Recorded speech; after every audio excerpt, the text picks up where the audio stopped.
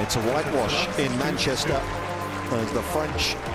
France की team ने Davis cup finals group B में स्विट्जरलैंड को एक तरफा मुकाबले के बाद तीन सिफर से शिकस्त दी। मैनचेस्टर अरीना में खेले गए डेविस कप फाइनल्स के ग्रुप बी के अहम मैच में फ्रांसीसी टेनिस खिलाड़ी एड्रियान मेनरिनो ने मेंस सिंगल्स मुकाबले में हरीफ स्विस खिलाड़ी डोमिनिक स्ट्रकर को तीन छः और छः एक और छः चार से मात दी। दूसरे मेंस सिंगल्स मैच में फ्रांस के ह्यूगो हैम्बर्ड ने उम्दा खेल पेश करते हुए हरीफ स्विट्जरलैंड के खिलाड़ी स्टेन वावरेंका को स्ट्रेट सेट्स में छः चार और छः चार से हराकर अपनी टीम को स्विट्जरलैंड के खिलाफ दो सिफर की बढ़तरी दिलाई।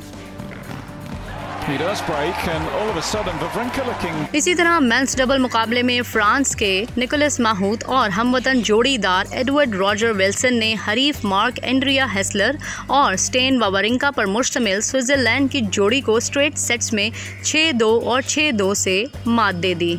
यूँ फ्रांस की टीम ने डेविस कप फाइनल्स के अहम मैच में स्विट्जरलैंड को यकतरफा मुकाबले के बाद तीन सिफर से हरा दिया। Pakistan Davis cup group two में 15 और 16 सितंबर को इंडोनेशिया का सामना करेगा। कौमी टीम के लिए एहसामुल हक और अकील खान समेत दो नए खिलाड़ी शामिल किए गए हैं। माजी में पाकिस्तान टेनिस का वर्ल्ड कप करार दिए जाने वाले डेविस कप में ग्रुप वन तक रसाई हासिल कर चुका है। तहम इस मरतबा इसे होम ग्राउंड पर इंडोनेशिया के सख्त चैलेंज का सामना है।